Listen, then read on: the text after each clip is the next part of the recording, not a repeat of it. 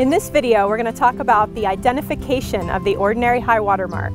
Identification of the ordinary high water mark is necessary when any part of a construction project is located at or near the water's edge of an inland lake or stream.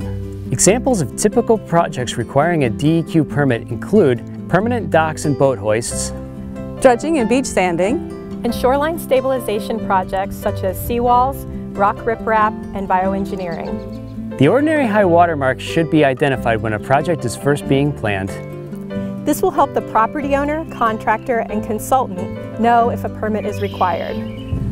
Knowing the location of the ordinary high water mark will help in filling out the DEQ permit application. The location of the ordinary high water mark needs to be added in the site plans as part of the application package.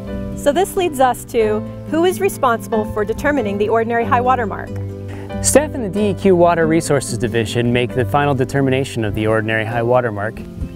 Often, DEQ staff visit a site to confirm an ordinary high water mark location that has been identified in a permit application.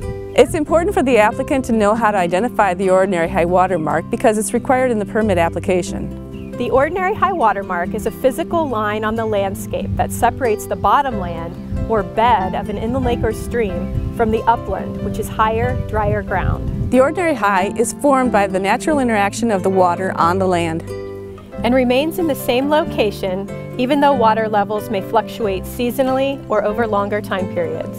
Some of the physical features that can be used to determine the presence of the ordinary high water mark include changes in substrate, changes in vegetation, development of a shelf or other change in slope, the presence or absence of organic litter, water staining on rocks or seawalls, and eroded areas.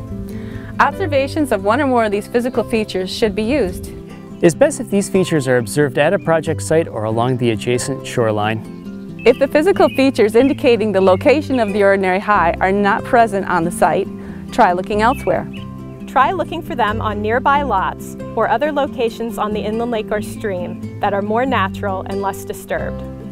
For more information, visit our website at www.michigan.gov forward slash DEQ Inland Lakes.